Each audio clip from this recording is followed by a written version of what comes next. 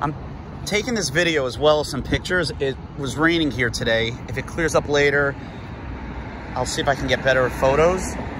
But you can see right over here, going up here, till about there.